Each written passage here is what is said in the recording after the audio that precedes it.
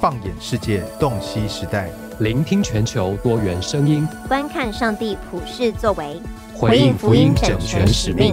欢迎收听由世界华府中心制作的《使命门徒》Podcast 第二季。大家好，我是董家华牧师。讲道是教会崇拜当中不可或缺的环节，因为在基督徒的聚集当中，我们不只是来表达对上帝的爱和敬拜，也是领受上帝的话语。今天我们邀请到来自中国温州，现在在美国牧会的陈道德牧师。道德牧师自十九岁开始就在农村教会参与讲道的服饰，后来在新城啊接受装备，毕业后回到温州，又再到美国正道神学院进修讲道学。道德牧师真诚的分享，他在学习讲道、预备讲道的过程当中，他如何去操练，不只是讲道，也关注到底谁在听到，受众是谁，以及如何在讲道当中能够有好的应用。道德牧师你好，你好，你好，杜牧师你好。呃，其实我们是老朋友了哈，我们认识的时候啊，那个时候虽然说不上是二十几岁小伙子，但是也是三十几岁的 这个刚刚开始在服侍的这个传道人哈。对对对，呀呀呀！刚来美国，对对，你可不可以跟我们很简单的介绍一下你自己啊，自己服饰的旅程，以及今天我们要来谈的一个主题是讲到啊，为什么后来你会特别关注这个议题？哦，呀呃，我是来自呃中国大陆温州呃呃是乐清的一个流溪片啊，我们很多的呃如果熟悉的话，我们有不同的片区，嗯，我们属于一个家庭教会的系统。呃，那我其实正式开始有站讲台，其实是在东北沈阳那边也有温州人教会。哦，OK。啊我对我父母呢在那边呃做生意，所以呢我就在高中、大学在那边读。后来在大学的过程，呃，读书的时候呢，呃，我们都是义工嘛，义工的模式，所以呢就有机会呃在农村里面去分享福音，啊，去讲道。对，那个时候呃。呃，就是也也没有正式学过，但是呢，呃，按照我们传统的那种呃温州的一些一些一个模式呢来进行的。啊，温州模式是什么？很好奇。呃，我们也有也有一个审呃审呃或者叫审慎的一个一个机制了啊，就是你做可以作为我们叫呃讲道同工，嗯啊对，就是义工的讲道同工啊，完了呢就就可以在呃。我们也是在东北也有个片区的各个教会里面啊，逐日的时候有机会啊来分享啊讲的都是义工。那个时候没有全职传道人，都是义工。OK，是是对是。后来二零零零年就回温州，完了呢，在我们的呃老家的一个教会的总会里面，后来能够有机会参与服饰，也也是一个，所以我们叫讲道同工了。嗯。后来就呃有机会能够去新加坡啊读神学，完了再回到温州。嗯，能够继续有机会啊，参与在教会的服饰当中。是是，那在在我知道后来你又到北美正道福音神学院啊读这个教牧博士，然后特别的读的题目是关于讲道方面。对对对，为什么？就是因为我知道，虽然说温州教会有温州教会的特色，然后是片区啊。坦白讲，你如果等一下，你可以稍微介绍一下什么是片区的话，也许可以帮助很多的人去理解。哎，温州教会的治理模式，因为啊，也许在东南亚跟北美我们比较不熟悉，可是欧洲的华人教会，特别南欧的华人教会，基本上是温州模式的延伸。啊，对对对对对，所以你可不可以简单稍微介绍一下这个呃温州教会的什么叫片区，以及当呃大部分的童工都是讲道童工的时候，我们一般想到的就是教会里面有执事长老轮流站讲台，可是，在温州教会的概念当中，讲道童工的概念应该不是这样，可不可以简单解释一下？呃，对，因为呃这个应该这种模式应该，嗯，据我所知道的，我自己的那个地方来话看的话，应该是文革期间。呃，所建立的，因为呃，以前的教会有不同的宗派背景，比如说内地会，呃，有自立会，有寻道会哦，反正我所在的那个区有这几个教会，但是后来呢，呃，文革期间都是被关门了，那呃，受过神学训练的那些呃教师们、牧师们呢，都被呃去放牛了，我不知道，所以这个时候呢，呃，大家在地下的时候呢，就呃，那就有人起来这些。一个义工那些农，我们其实温州大家都知道，我们的知识都是农村嘛，所以这些呃比较有呃有一点呃知识的或者能够呃会讲的，他就起来去讲道。嗯那这个时候呢，但是呢，没毕竟没有受过训练，那在自己又是在地下的，那讲道过程里面讲完了，今天呃下一周不知道怎么讲啊，嗯或者那个就呃后来自然而形成了一个那哎你在这这个教会哎你在这里讲，那下一个星期你到那个教会讲。OK，所以呢，慢慢就形成了一个片区，不再以宗派作为一个联谊的，而是一个地方性的、相近邻的几个村子、几个城镇，就成立了一个片区。嗯所以这个片区变成了，就是说，后来就变成了有个总会，那总会就统一去管理啊、每一个周日的、呃讲道的安排，所以我们叫派单，啊，就派单制的派单，就这么来是的。是是是。啊，谢谢谢谢。所以在派单制的这这种制度当中，其实讲道者他可能他是由总会来安排，然后每周可能到不同的堂点去去讲道，不是？对对对，所以这个我们就形成了常常说的，我们有有讲道人，呃，却没有牧者这样的一个一个 OK 一个说法，因为很多的时候我们讲到对象我们是不认识的，很多的时候我们的奖章都是重复的，呃 OK 我们对会友不是认识。不过呢，有一点好处，我说唯一一点好处，对我常常对后来的一些一些年轻人说，呃，这种派单子唯一的好处，因为你重复讲啊、同样的信息，所以你 嗯的口才会锻炼的很好。是因为你第一次讲到呃用一个新的讲章，你不会在乎你的表达，但是你第二次、第三次、第四次的时候，你会很在乎你的表达呈现的。所以这个这个倒是从比较正面的一个这样一个 OK，是是是是是，对我有注意到温州背景的牧者啊，通常讲到口才都是很好的。对我我我们也有人也跟我说过这样的一个观察。是，那那后来你是呃在新加坡神学院读完第一个神学的学位之后，又回到温州服饰，那是什么样的一个呃原因？你后来又到北美正道神学院，然后是特别是读讲道方面的内容？对，当然就是说，因为我们也从小有机会，有很多的机会。应该来说，在中国家庭教会的话啊，嗯呃，应该来说讲到的机会很多。嗯，呃，那在这个过程里面呢，我们对于我们来说也是学习很多，所以也慢慢的会有了一些负担。那我们以前温州市的一个讲道法，大家都知道，就是那种主题式的啊，，OK，呃，一般都是主题式的讲道法。但是后来呢，我们呃也是所谓二零零年之后，我们也稍微学习了一些神学，接触一些外面看过这个这个罗宾森的那个那个讲道法的书，我们对这种四经讲道的概念呢都比较呃都比较赞同，也也认为我们应该左右讲台应该有四经的讲道法。嗯嗯。呀，所以后来呢，去读神学之后呢，我就回到温州，一直在呃推广释经式讲道法，嗯，在我们的总会里面，还有在也去过各个呃地方了，去讲释经讲道法，来推广释经讲道法这个课。OK 啊是是对，那大家的反应怎么样？呃，对，呃，反应应该是来说是非常非常的好，最起码来说，呃，呃，这个怎么说的呢？就是说我们，呃，大家也都知道我们的一个问题在哪里，嗯啊、但是呢，我我们也需要有一些，呃，就说其实呃，这个也不能够展开讲，因为我们知道，呃，以前呃，我们温州教会我们也存在了很多的一些问题，跟讲台的信息是很有相关性的。啊、嗯那所以啊、在这个过程当中，也确确实实我们也看到了，啊、有有，呃，包括我我自己以前所在的教会啊、一直在呃听讲道法的，呃，他听世经讲道法，那在嗯生命上啊、在嗯牧养上会带来很多的一些成长，这也是一个事实。是是是，大家还是都是比较好学的了，还是愿意学，也是愿意去改变啊。是对是，那既然那时候你从新加坡已经回到温州，然后也把诗经讲到的这个概念做法带回去，那后来是什么样的原因，你又到北美去读讲道？啊，当然我来北美其实是来先来生活的，或者说先来教会牧会的。嗯啊，嗯后来呢，啊，再去想啊，去读一个呃呃讲道法的一个，主要还是对讲道法的一种或者对讲道方面的一种负担了。因为毕竟过去呃神学院呃新加坡毕业之后，在国内很多的一些时间啊、嗯都在呃推广这种世经讲道法，那很愿意就是更加深入的去了解。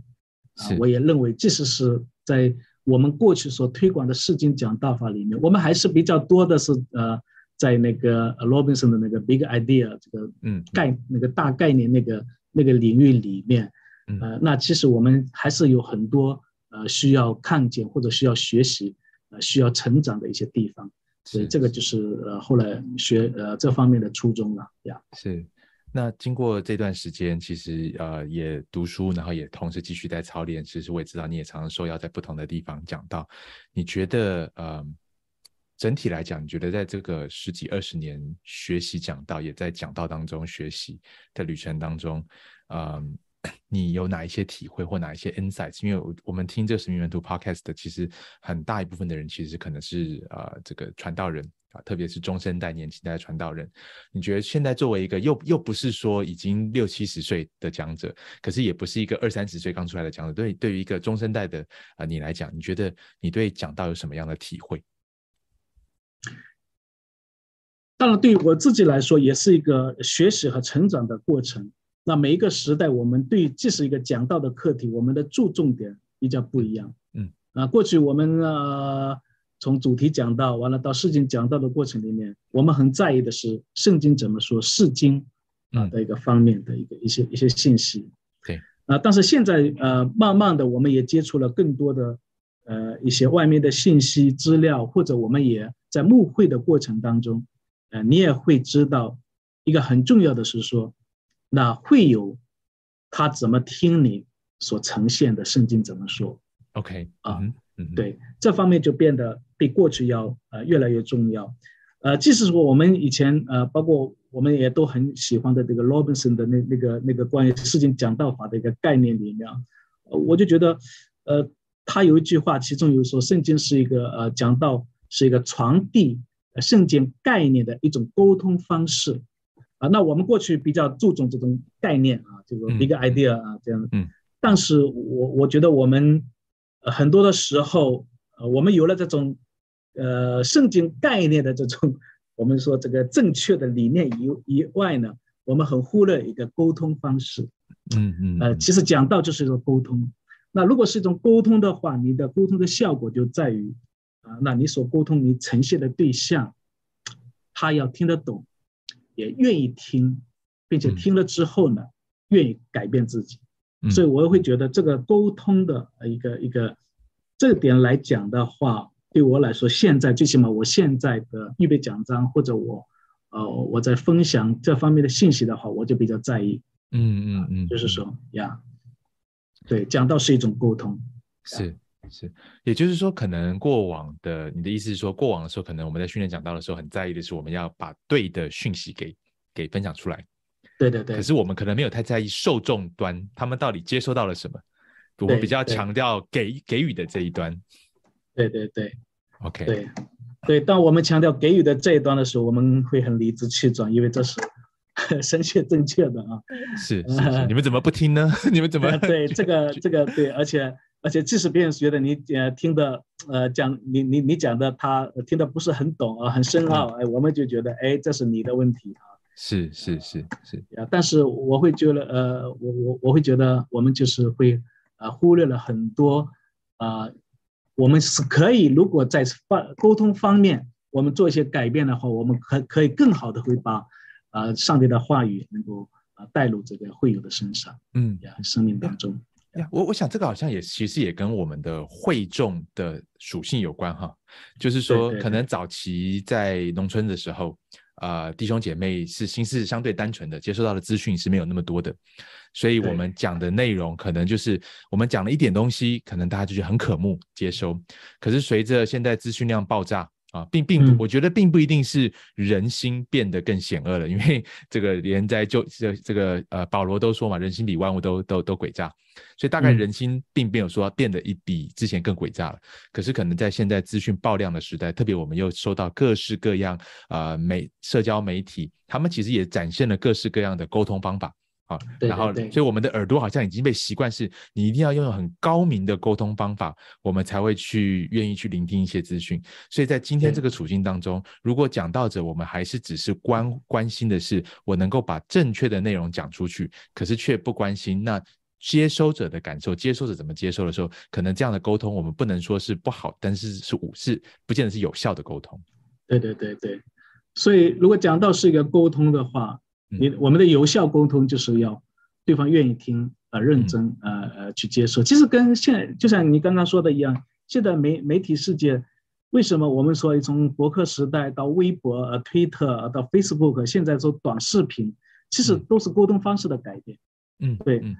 对，所以所以从从理论上是做呃呃来说的话，那我们呃作为讲员讲到的话，我们需要抓住呃一些机会，能够啊呈现和让呃沟通呃的另外一方能够啊达到更好的一个有效是，有效的沟通呀。那可不可以从你个人的经验，就是说早期在农村教会或在东北，然后后来到了新加坡，啊后来又回到中国啊的温州，然后也看到这个温州的发展啊。可能从这个小城镇变成是一个很大的商业城市，后来又来到了美国。其实你在啊讲到的过程当中，面对不同的群体跟族群嘛，你可不可以就是回顾一下，你觉得这些不同的群体的特色如何影响讲道者，或者是呃，或者是对不同群体而言，有效的沟通怎么样才能够有有效的沟通？有没有什么呃这个不变的原则？但也有有什么是需要改变调整的？对，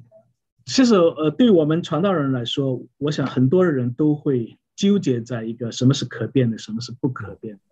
嗯，那在这个中间如何有智慧去，呃，不仅仅是认识清这个事实，而且有智慧要处理，啊，去去转变，这是一个很不容易的。如果单单从讲讲道来说的话，比如说我以前在没读神学之前，嗯，那我会，我觉得那个时候的，呃，沟通上。相对比较有效，因为我会对农村的人来说，我会很引用很多一些故事，嗯，包括即使在温州的话，那些农村里面的故事啊，我也尽量去学习，去去去。包括后来读完神学院啊，呃，之后回回到回到这个温州的时候，那个时候还记得这个竹字培养了一个竹字写奖章的一个一个啊。呃，我现在还是逐字写奖章了啊。OK，这个这个我们一会儿再再有讨论。那我是逐字写奖章的一个一个模式。嗯，那你知道我们在温州是用温州话讲到的。对，你逐字写讲章的话，你就跑出来讲出来的话都是那种我们叫不是图画的图画。OK，啊，就是就是呃就是不够图。我们我的我的一个。对，不够不够接地气。对，不够接地气，不够土，就是那那那样的一个温州话。嗯，而且呢，我讲的例子啊，或者我们有遵照的一个一个一个模式呢，呃，我其实觉得，呃，特别是刚刚就回国的时候，那个呃第一年、第二年的时候是蛮辛苦的。OK，呀，所以你会发现很相反的、很两极的，就是年轻人的评论和长辈们啊。呃，那些那些可能没有做过很多教育的那些长辈们，呃，他们对你的反应，呃，是很不一样的，对，很两极化的。OK，呀，OK，所以是长，所以是所以是长辈比较没那么正面，觉得说，对，还是哦，长辈比较没那么正面。OK，对，因为因为长辈们会觉得你过去讲的好像 我们都听得懂一点，呃，过去你的故事好像比较有意思，后来你讲的都是什么一些哲理性的一些故事了，呃，我们就讲遍了，我还记得很清楚，讲一个笑话。我讲那个笑话，本来是在年轻人会哄堂大笑的。那在主日的时候，用温州话讲的时候，没人，人家还要解释了笑话，人家才笑一笑的那种感觉。是是是是，对对。啊，所以那个就是会有一些一些一些这方面的一些困困难。OK。你觉得为什么会有这样的差异？特别是好像世代之间，因为我会问问这个问题，也是其实也是因为我过去在在呃牧养教会的时候，其实也常常发生有年轻的传道人很无奈的跑来找我，就是他们觉得说他们呃很努力的预备，然后也读很多书，可是呃上一代或者是年长爸爸妈妈那一代。好，当然这些都是相对的概念了，就看他年纪多大，爸爸妈妈那一代年纪就多大。好，爸爸妈妈那一代都觉得说你讲太多学识了，你讲太多道理学问了。我我们来我们来到这边是要听上帝的话，听上帝对我们的的的这个牧养，不是要听一堆高深的学问。可是也的确，我们也看到说这些年轻的讲道者，他们在讲的时候，他们跟他们年龄相仿，或者是再更年轻的一代，似乎是觉得呃。是觉得说是哎，终于有人好像愿意去去面对或者谈到我们的挣扎、我们的疑问，或者是我从小听讲到听到这些呃道是很温暖、是很窝心，可是还是有一些心理的疑问，呃，好像需要一些理性、智性、逻辑的一种一种演绎跟解释来回应，所以年轻一代的反应好像有的时候反而是比较正面的。那可是这年轻团长就很两难，他到底该怎么办？就是说我我我到底是该，因为如果说按比例的话，难道说今天只是呃某一个世代的比例多了百分之五 percent，我们就要 shift 吗？那现在回过头来看，你会怎么建议年轻的传道人面对这样的处处境？就是他讲到的对象，他可能他的对象不是分龄的，是什么样年龄都有的，你会给他什么样的建议？Gordon w e r 有一本书，他是从文化商数的一个角度，OK，呃，去讲这个讲道法的一些一些应用，呃，我就觉得其实就是这样，其实。我们为什么有一些时候，因为理论上是说你你信徒，呃，因为从某个方面来讲，你讲道员，呃讲讲者，你面对不同的信徒，有长辈的一个场合，有不呃有年轻人场合，其实是这是你没有办法的，你没得选择的。所以我们的一个选择就是你有极强的这种文化商数去敏感他们的一些呃你的你的汇总，嗯嗯啊你汇总的需要。对，所以这个就是对我，我认为是我们每一个传道人就需要急切去呃呃要培育的了，自我培养或者一个一个培育的一个一个事情。我觉得也需要敏感。其实你不可能每一篇讲章所有人都满意，也不可能。当然，一篇讲章不是针对一个人讲，也不是针对所有的人讲。那这个是我们都知道的。不过呢，我们需要比过去更加敏感，呃，我们的讲到对象是。对对，所以这个就是我会过去。说实话，我们呃，我预备讲章的时候，从来没有想到，呃，会有在我预备讲章里面的重要性，就是你的讲到对象。对，嗯嗯，呃，现在我会觉得，当然，呃，有人也会从理理论上的角度啊，比如说那个讲到了三角关系啊，以前是呃一个讲者呃圣经啊，呃还有呃这个呃圣灵啊。那现在是说，哎，会众也参与在，我觉得这个是非常对的，嗯。呀，所以也就是说，其实我们在预备讲章的时候，其实我们的讲道对象就参与在我们预备讲章的过程当中，而这个是透过我们牧养去呈、去、去理解和呈现的，是，呃，所以我会觉得，呃，这样是一个非常良性的一种，呃，一种的牧养，一种讲道的一种结合，是。呀呀。也也就是说，其实道德你在谈的，并不是我们要如何找到一个理论上的平衡，而是可能那个真正的出路是我们去认识、聆听，我们讲到受众他们的真实的感受、真实的处境，以至于很潜移默化的，在我们预备讲到的时候，我不再，他们不再是一群我们要讨好的人或群众，而是一群有血有肉，我们知道他们的挣扎，我们认识他们的啊生活遇到的困难。以至于很自然的，我们讲到的内容，在针对他们的服侍他们的时候，很自然的就慢慢的，好像也不是故意要兼顾的。可是当你越认识上一代，认认识下一代的时候，因为可能也许很多时候年轻一代的讲者，我们准备的信息更能够贴近下一代，是因为我们跟他们更接近，文化啊更接近，所以我们预备的内容可能就觉得说，哎，好像也是在回应我的问题嘛。因为我在年轻的时候，我也是在回答我的心中的问题嘛。对对对，所以其实你刚刚讲的是很对的。其实，如果我们说长一长辈们的讲者年轻人不适应，我们会对他们说：“哦，你的跨文化工作做得不够。”其实相同的一样，当我们年轻的讲员讲到那一些一些劳工层次的人或者一些呃长辈们，他说觉得你的不够呃贴切他们的生活，其实从某个方面也是我们的跨文化做的。是是是是。对，所以其实真的是我我我我会说，现在是说，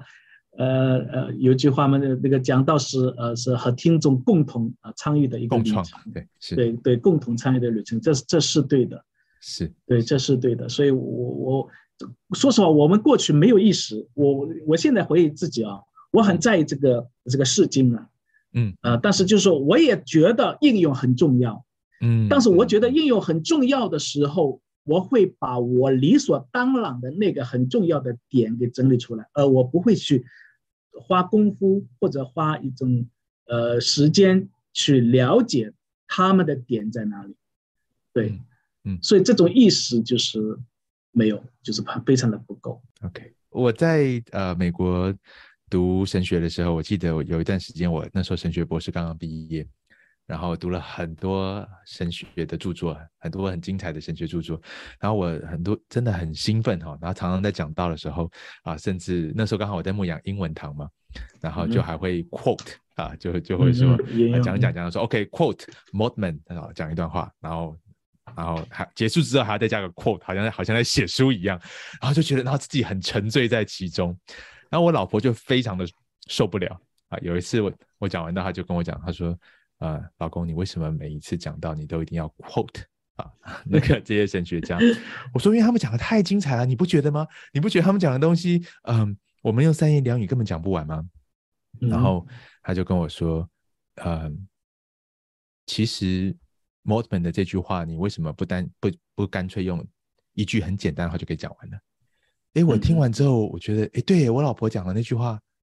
蛮。精简的就把那句话的意思给讲清楚了，所以后来我渐渐明白是，很多时候我们呃很多词藻的堆砌，可能是在隐藏自己的不理解跟不安全感，啊，所以我们就堆砌了一堆名字跟词藻，啊，不代表说，我觉得我绝对不是反对传道人我们要进修，我我我觉得读书很重要。可是，如果我们不求甚解，或者是只是藏在这些书本啊，这个引引经据典跟名字的背后，而没有真的走出这些东西去跟我们的受众有个有温度连接的话，其实那个传传传讲到传传出传达出来的信息也大概会是这个样子。是的，是的，呀，就呃，其实我们也都有共同的经历了，特别是过去我们听呃华人的一些呃有些长辈，我们刚刚聆听的时候，哎，都会用。某一种的腔调和语气，而且词汇 啊，去表表述啊。那当然，我我巴不得。对，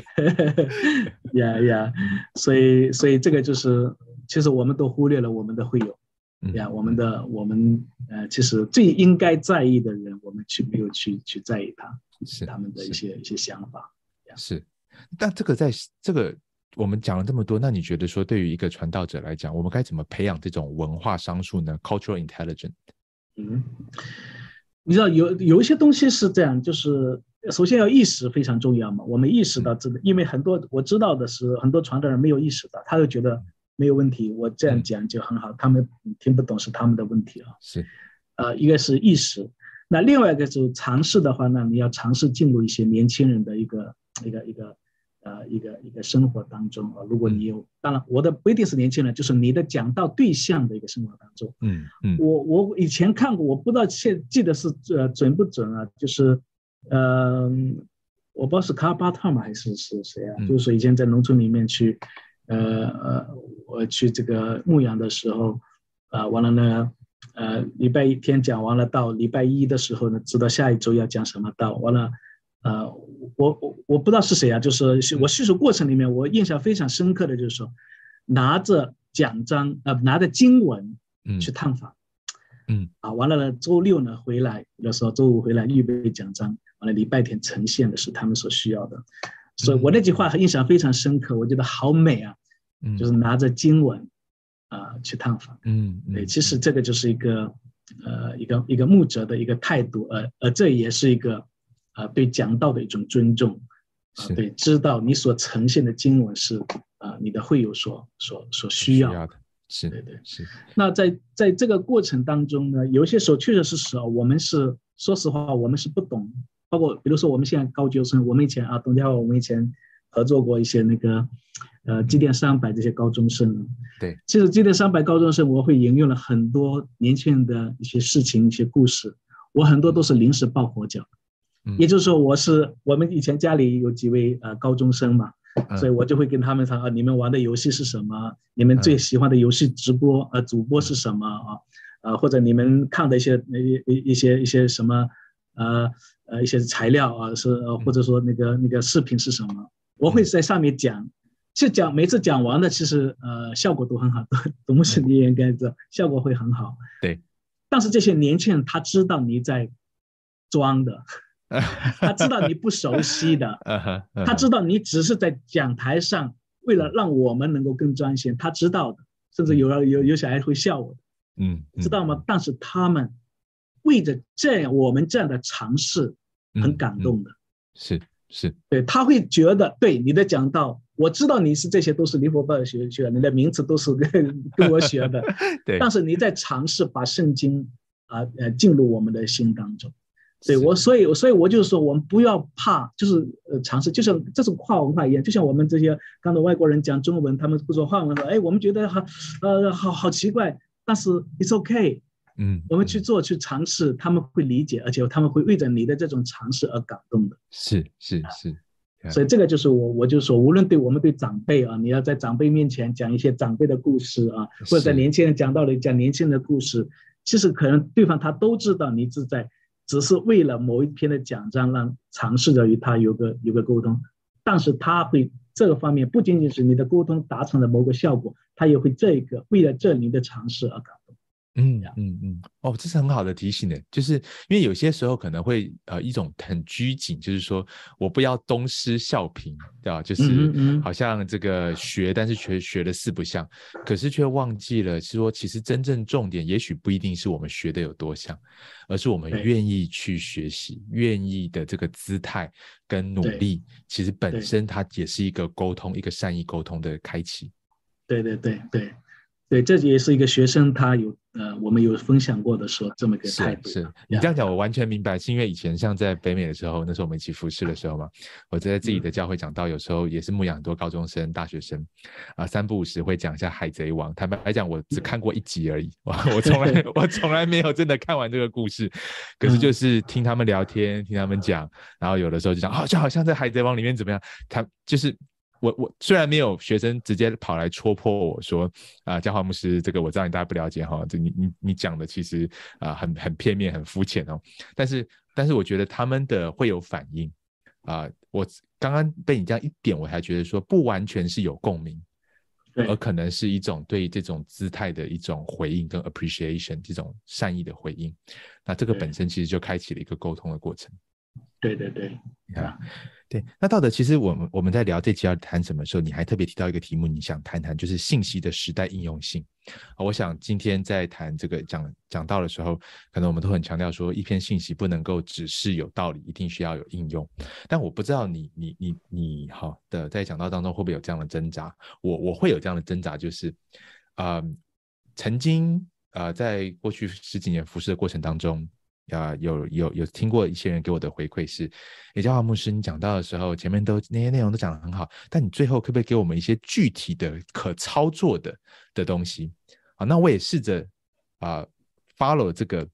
这个建议，可是后来发现，呃，两篇三篇，呃，一个月过去了，一年过去了，我发现我想到的应用好像怎么翻来覆去就是那几样，就不不外乎要爱邻舍啊，不外乎，那有的时候就会觉得说，好像刻意的要讲怎么应用的时候。啊，会有一种比较枯竭的感觉。可是，但是另外一方面，我们也完全明白，其实一篇信息如果最后没有 call for action，如果没有一种呃行动上的呼吁的改变，好像它就只是一个纯智性上的一个知性的运动而已。这个当中到底该怎么做呢？当然，我现在摸索到有些我的我的感想，但我很想听听你，你有没有过这样的挣扎，以及你是怎么你是怎么面对这样的挣扎或者困境的？对，所以呃，这个应用啊。嗯，也确实是我我会觉得，因为首先大家都知道，圣经里面有很多多应用的经文，嗯，呀，包括圣经就是与教训读者、神规正教导人学艺的一个应用过程啊，呃，这个是我们大家都能够呃所理解的，而问题就在于呢，我们的应用确实应用，我觉得很难，就像你刚刚说的，有些时候太过具体，嗯。啊，礼拜天。呃，讲到的时候，哎，你呃，你这个超市里面的推车你要推回去哦，我也听过类似这样的应用啊，嗯嗯，呃，就是国家很道德呃的教育的啊，那但是呢，有些时候我们太过笼统啊，这是我们我以前对不起啊，我这样说以前我们在温州的时候，呃，常常说的，哎，我们的应用就是你不够爱足，解决方法是你要爱足；你不够热心，解决方法是你要热心啊，就是很笼统的、很抽象的，是啊，但是不够具体的。所以这些呢，其实呃也对我的一个理解来说，也都可以，但是是你的对象是什么，是谁，或者是在怎样的处境之下，有一些时候我我用的一个一个词叫没有应用的应用，嗯嗯。啊，你知道现在现在年轻人有些时候喜欢暗示，喜欢避讳的，嗯，那这个时候就不需要啊这个这个。有应用，你说教师的你要做什么的一个应用，对不对？嗯，呃，所以你知道这个，特别是那种叙述式的时代里面，大家听完故事之后，你再讲一二三，你要做什么？所以这些这些可能对一些年轻人说，你的规范、你的命题，对于他们来说是简单粗暴的。哎，所以这个时候，那我们可能就是什么呀？就是不需要有应用啊。所以特别是叙述讲到法的话，你讲完了故事之后，其实你就让他自己去 get 你的你的应用的点。对，这个也是一个方式了。嗯，对，但是我会这样说，呃，就是说，尽量去尝试一些不同的一个一个应用的模式。是，呃，这个模式有一些时候是没有应用的，那有一些时候呢，可能你是，呃，你是呃很很积积极的。我们过去我过去学习到是，你可以用第二人称的。啊，这个你要怎么样？你要怎么样的啊？那种的第二人称显示了你是非常，呃，呃，宣告嘛。以前说讲到是一个宣告，所以你你应该是一个很宣告式的，对大家进行一个意志上的这种挑战。我觉得这个也是对的，在某一些人当中有需要的，但是呢，也可以是一种第一人称的一种自行式的引导和建议。嗯，哎，其实这种自行式第一人称的方式，不见得没有力量。嗯嗯。啊，所以我我常常举个例子，就是说这个，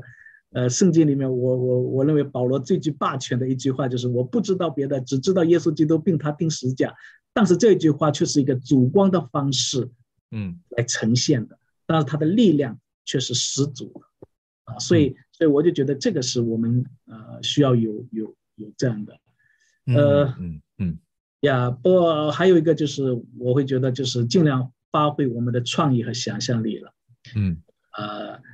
对我我会觉得，其实，在在，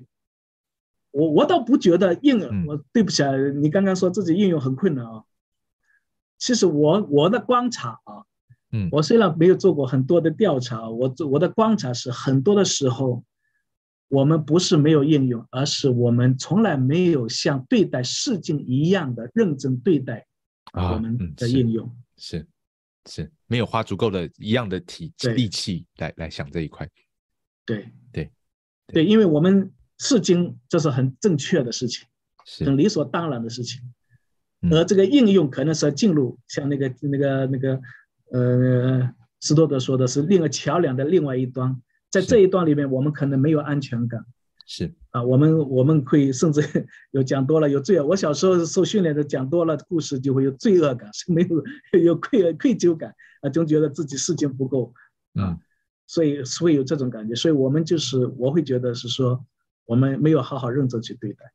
OK，Yes。Yes，啊，你你刚才在讲的时候，因为你提了两个，第一个是应用，好像传统是用第二人称，你应该，可是你提到说，其实第一人称也是有它的力量的。第二个的建议，你提到说要善用创意跟想象力。那我把这两个拉在一起的话，我觉得说好像你你你在指出一个东西是，嗯，有一种应用是我告诉你怎么做，但另外一种应用是它改变了我们人生的故事。嗯啊，那当你生命故事改变的时候，很自然的在面对眼前的处境，你会完全朝不一样的方向，有不一样的选择来进行。那这个就需要有创意跟想象力。那包括我们在讲的时候，啊，我记得我的一个好朋友啊，万万利豪牧师，有一次在跟他聊天的时候，他就他就跟我说他在想，他说他说呃，我有一次在跟他聊讲道。我说：“哎，Peter，你知道吗？我我还蛮喜欢听你讲到的，啊，你是 one of the 啊这个一个 speaker，就是说我无聊的时候跑步的时候，我会听你讲到的，啊，那我就很好奇说，那对你对你来讲，如果你今天要教一个人讲到，你你你有什么，你会有什么样的给他的建议？他讲一句话，我觉得蛮有意思。他说，他说他会尽量去想传达给听众的信息，不是你应该怎么样。”而是让听众感觉到，哎，我也是这样啊。对，那那那其实用我的话讲，就是其实你是邀请听众跟你进入到上帝的故事里面，然后发现，哎，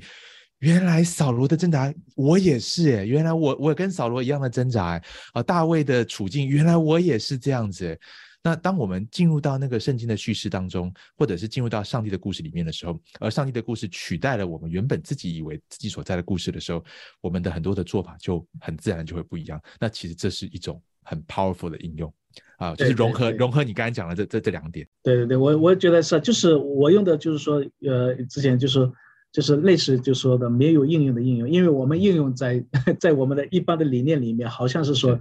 就是呃，你应该怎么样的，你应该怎么样的一些是一些做法。其实就像您刚刚说的，其实我们就是把自己的故事和上帝的故事予以链接，完了带领大家一起进入这两个故事中间嗯。啊，所以我觉得一个这样的一个旅程了是呀。是是，呃，讲到旅程哈，那、其实我们这一次重新连接，其实有一个小小的事情，就是啊、你跟你的一些朋朋友啊，新神的一些毕业的校友，你们在网络上很自发性的开始了一个叫啊、应该是讲道交流会吧，对嗯就是请不同的人来分享预备讲道的一些心得。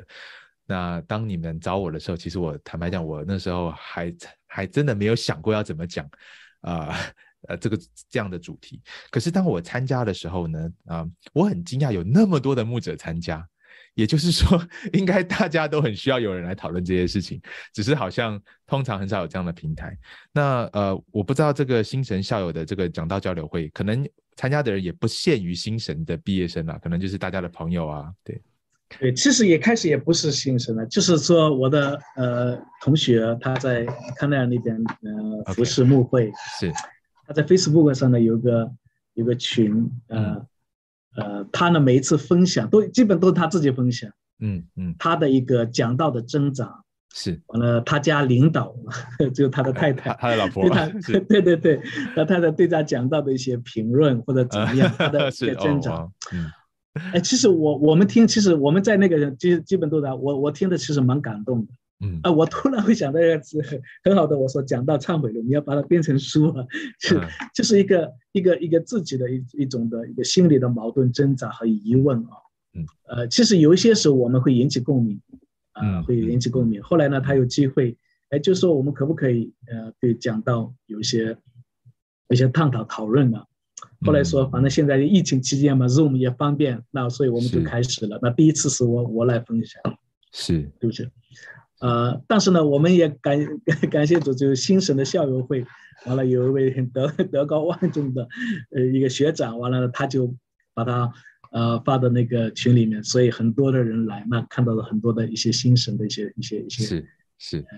一一些同学校友了，是呀，是对是。那在这些自发性的聚集当中，跟这些不同的交流当中，你觉得你个人呃有哪一些的学到的，就是学习到的、体会到的对讲道者的一些 insights？特别是今天，呃，我觉得很大的一个呃不一样是，大家并不是先从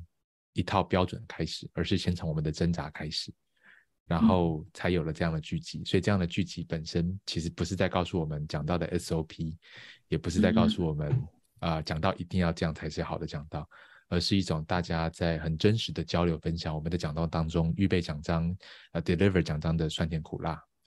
那你自己在这个过程当中，你觉得对于今天如果有一个讲道者想问一下，哎，道德税你可不可以？我我我都错过了之前所有的聚集，但是如果有没有什么精华你可以分享的话，你会怎么？你会分享哪一些 insights？就我就就像你说的，我们的好像第现在是第三届了，接下来马上又是第四次啊。嗯呃，我我很感动的就是，其实就像我刚刚说的，这位牧师，这位唐牧师，呃、他是很真实的把自己的挣扎给写出来。是那我们是每一个人其实都有类似的挣扎是啊、而而我们当然这也显示了，我我会觉得作为上帝的仆人，我们应我觉得传道人这方面的挣扎你是必须和需要的。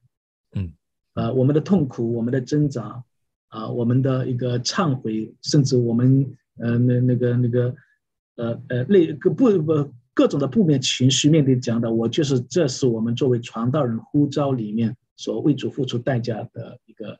一个一个某个方面嗯是必须和需要的。是对，所以我我也会说，在这个过程当中也看到一些很多的一些，呃，一些甚至我的一些学长一些很好的一些，呃，上次了，哦，对我我一些我甚至我们的老师也有参加啊，嗯，所以我觉得呃非常的感动，呃，也也显示了这是我们传道人的一个一个共性一个共识，对于讲道的一个挣扎，真的是我们在讲道面前，在服侍上帝的话语面前，我们嗯。没有没有强者，我们都是一个学习的是。呃学习者。嗯。呀，所以如果呃你说有什么精华的话，那对于我来说，因为我们这次包括请啊董牧师或者请其他的，我们都是比较从一个呃一个沟通，特别是面对现在的叙述时代里面，呃我们应该有的，我们可能大家也都学习过过去我们讲大法里面的标准程序啊、嗯。或者几个什么以基督为中心，或者呃呃以 big idea 这些概念，其实大家都懂的。那很多的时候，我们还是要回到了一个，就是说，我们如何应用这些概念，啊、更好的啊、呈现在我们的会友面前。嗯，对嗯特别是如何把握现代我们的会友啊、他们的想法、他们的处境，对，是主要还是这个。所以这个是我就说我们呃一直在挣扎，在一挣扎的过程当中，我们继续去学习。是呀是是，这个这个很吊诡哈、就是说，因为世代的文化一直在改变，所以我们大概很难说，OK，我现在懂了，就是这样这样这样就就就不会错了。因为一旦我们这样讲的时候，其实我们就假设这个时代文化是已经固化了。嗯所以也许就是我们还是可以找到一些好的路标，说其实面对年年轻一代的时候，可能我们要注意这个这个这个这个这个。可是那种持续愿意敞开学习的心，好像才是真正的关键哈。其实我我就觉得一样，其实我们每一个人在预备讲章，传道人在预备讲章的时候，我们是有思想的，呃，我们是有思考的，我们是有挣扎的，但是我们所挣扎的点，呃，就是可能跟我们应该原本要讲到对象的那个呃那个点上哦，我们连接上，我们可能好像我会觉得就是说。我们的挣扎跟他呃跟他们的一些挣扎，呃，就是联系不上点，OK，嗯。所以很多的时候我们就是，我我到了也不会说是做了无无效功了无用功，我我不会这么去说，呃，不过确确实实是，呃，很多传道人他挣扎出来的奖章，就像一个传道，我花了这么多的时间 嗯，这么多的精力，呃，对着你们讲出来，花了这么多，你们还不喜欢。嗯嗯嗯嗯嗯。你还们还不爱听，嗯。就是一方面我们很尊重，好像呃这位呃传道人哎他的一个挣扎所预备出来的一个奖章，嗯。但是呢，年轻人的讲章或者说他讲到对象这种挣扎，跟你所表现呈现出来的是不对一样的，不对嗯不对称的，嗯。啊、连连不了一条线是。呀，所以所以我我我我还会对不起啊，我还会说的这句话，就是说我们的挣扎应该是呃讲到对象嗯与他一起挣扎，是是对，与与讲到对象，呃我们的听众一起挣扎。是是啊。其其实道德，你刚才讲了一点，就是很用另外一种方法来讲，就是传道者的自我中心啊。嗯我们即便在服侍人啊，我我记得是 David Bosch 吧，啊，他是一嗯位很有名的宣教神学家，本身是宣教士，也是神学家。他讲说，呃，宣教士呃的其中一个陷阱就是很愿意为上帝舍己，但坚持要用自己的方式为上帝舍己。是，那那他自己是宣教士啊，所以他这样讲的话，我想其他人没话说。像我们这样讲就就怪怪的。可是我觉得，其实何尝啊、呃只是宣教士如此，牧者也何尝不是如此？很多时候我们很愿意为上帝摆上，可是坚持用自己的方式摆上；我们很愿意为群羊舍命，但是是用自己的方式舍命啊、但是很少去。但是我觉我觉得，也许我们更需要设计的是，连我们舍命的方式，都是去去聆听啊、上帝托付我们的羊群，他们真实的挣扎跟处境是什么？对对对，呀，所以我我呀，所以其实我不知道你呃，总牧师我们讲自诗人的呃个人的一些讲到的一种分享啊，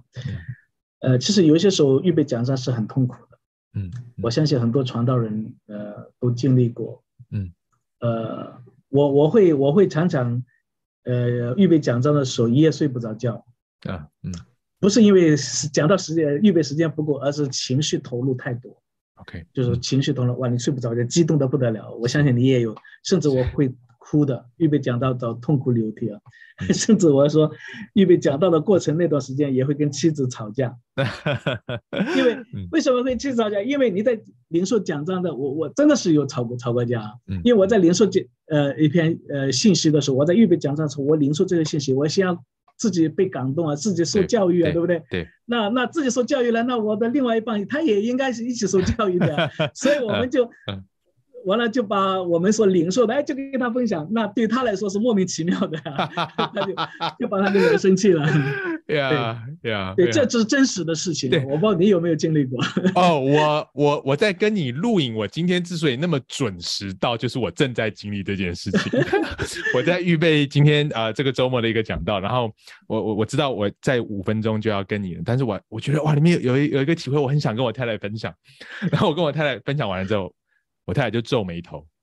然后我就觉得，嗯，你不是应该感动的吗？你怎么会皱眉头呢？然后他就说，我觉得你这样讲很 confusing，很让人困扰。然后我就我就说很感动啊，然后我就真的是真的是很很不开心啊。所以今天跟你录音的时候，我之所以那么准时的到，就是因为我正在经历你刚才讲的东西，就是其实坦白讲就是自我中心嘛。我觉得我领受了，然后我觉得这是全世界都应该跟我要一样的感动嘛。但是如果放在我太太一个听到者的角度，可能她觉得说，其实这个有那么重要吗？这个、这个、这个是真的那么造就人吗？还是只是满足了你现在的挣扎而已？对，所以，所以这里面就会呈现了两种，就像你刚刚说的一种吊诡，很吊诡。嗯，一方面我们讲到呢，要要你一篇讲章，首先要感动自己。对，因为现在重点就是说。你要呈现自己，因为讲到从某个方面来讲，就是你呈现自己的故事嘛，对不对？是。但是另外一方面呢，就是当你呈现自己的故事的时候，那我们的故事跟他们的故事，或者说他的一些处境上，可能连接不连接不起来。嗯。所以这里面就会有一种有一种张力在中间。嗯。啊。所以这种张力呢，呃，我们如何去呈现啊？呃，对，这个就是一个方法。但如果说实话，我过去真的是我会赞同以第二人称的方式，你要怎么样，你要怎么样。嗯。但是因为我正是看到了这一层的张力啊，嗯嗯，我更会愿意讲我我们啊，从这的经历里面啊，我们要怎么样的一个一个模式了。是。因为我发现，就像你刚刚说，我所挣扎的不一定是他们的挣扎。是。那那我们的讲道。从某个方面来讲，更是要呈现。当然，一方面也在呈现我们自己的故事，呈现上帝的故事。所以，那我用另外一个方式，啊，所以我会邀请他来观察这个故事。啊，就像你刚刚说的，我们要邀请他进入啊这个故事的里面，啊，看到我们能够在这个故事里面，呃，能够有些什么样的改变，什么样的成长。嗯，呀，嗯，谢谢道德今天的分享，然后也带我们一开始从强调关注受众。然后培养出一种好像文化的这个情商 （cultural intelligence）。然后后来我们也谈到说，其实讲到应用的时候，不只是以你啊的来开场的，更多也许我们可以也学习另外一种，是一种叙事想象力的更新，以至于我们是邀请大家进到一个叙事里面，是我们进到这个更大的故事里面之后，会有什么样的改变？而最后其实 也谈到啊一种啊讲道者的吊诡性，就是我们一方面要真诚。要跟我们的挣扎在那边摔跤，可是，一方面我们又其实啊，我们自己也不是世界的中心。怎么样在这真诚摔跤当中，我们仍旧是舍己啊，让基督成为中心，也让啊受众听到者也成为这当中的一一部分，一起挣扎啊。那我觉得这是一个可能我们刚刚这样讲一个小时一下就过了，可是可能很多时候是好几年甚至一辈子的体会。好，谢谢道德。对对，谢谢董牧师。也，我们也就像你刚刚说的，是讲到就是一辈子的事情，我们就在这个过程当中，上帝既然呼召我们有机会能够成为呃讲台上的服侍者，呃话语的服侍者，所以我们继续学习，继续成长，也继续挣扎。是啊，呀，谢谢道德。而且我觉得今天提醒就是讲到就是一个跨文化的沟通，不论是对上一代要对下一代讲是如此。下一代对上一代讲也是如此。好，那呃，其实这也是一个设计的功课。谢谢，谢谢，谢谢，谢谢道德牧师的分享。二十一世纪是全球人口流动的一个时代，而这也影响到今天全球教会的宣教策略。近年又因为疫情，越来越多教会开始注意到本地跨文化宣教的机会。下周我们邀请到在高雄武昌教会牧会的主任牧师郭俊豪。郭牧师常年在北美和台湾牧养教会，同时也是宣教学的博士，研究的题目包含散居宣教学。下周郭牧师将和我们分享他是如何在教会当中落实宣教的实践，牧养多族裔的群体，并推动海外和本地的跨文化宣教施工。我们下周见。